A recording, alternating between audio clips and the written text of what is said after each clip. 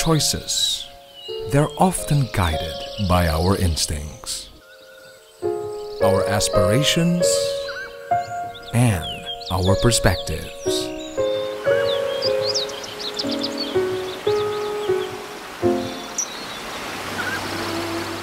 Hmm, they must be enjoying this.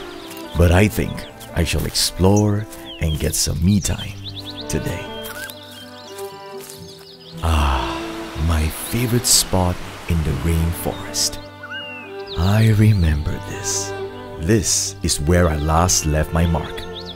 It was the day I learned how to climb a tree way up there.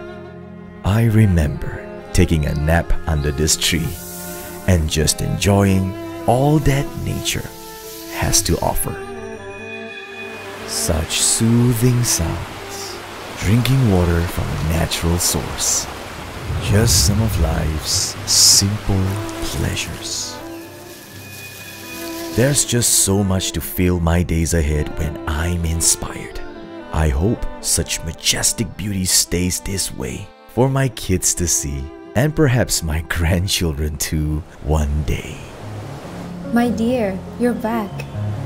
Was it an inspiring hike? No matter our differences, we know just how important it is to build a sustainable future.